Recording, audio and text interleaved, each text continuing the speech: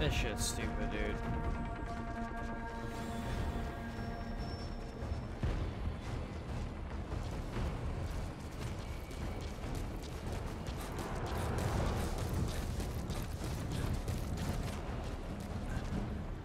Now this one's not moving.